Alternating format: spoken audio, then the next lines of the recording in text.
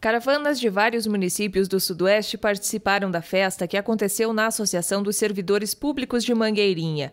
Um dia para trocar informações e partilhar sementes gratuitamente. A 17ª edição da Festa Regional das Sementes abordou o tema e trouxe como lema Sementes crioulas, resistindo, partilhando e preservando. A gente se sente valorizado, né? Quando a gente vai no espaço e leva algo que, que é valorizado, como a gente não se sente bem, né? Então essa é um pouco a ideia também da festa. A 16ª edição foi realizada em Boa Esperança do Iguaçu. O município de Mangueirinha se candidatou e sediou a 17ª edição precisou esperar dois anos por conta da pandemia.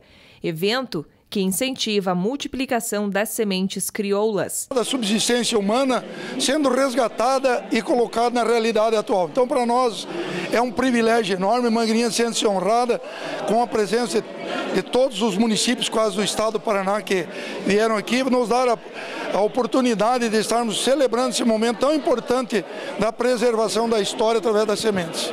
Muito importante essa festa porque Mangueirinha é a capital da semente do Sudoeste, é a maior produtora de grãos. Mas é importante falar da preservação da semente crioula, onde traz a, a tradição a, a, dos nossos ancestrais. Então, muito importante esse momento, onde a gente recebe de braços abertos mais de 40 municípios, mais de mil pessoas que vêm partilhar sementes com seus colegas agricultores e isso é muito importante para a agricultura familiar. O evento contou com diversas atrações, teve apresentações culturais e partilha de sementes. É um resgate né, da cultura, um resgate dos nossos antepassados, como eu já falei no momento anterior, é, nossos avós, tataravós, tinham muito essa presunção de guardar as sementes crioulas, né?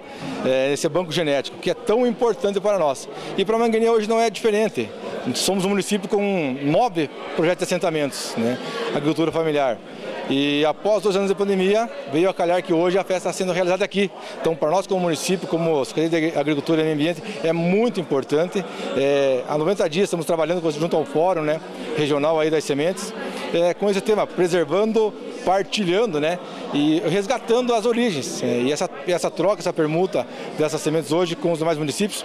Temos hoje 42 municípios aqui em Mangueirinha hoje nos visitando e só vem somar a, o, esforço né, nessa luta aí no resgate da semente crioula. A Festa Regional das Sementes contribui na preservação e até mesmo no resgate de variedades de sementes crioulas consideradas perdidas.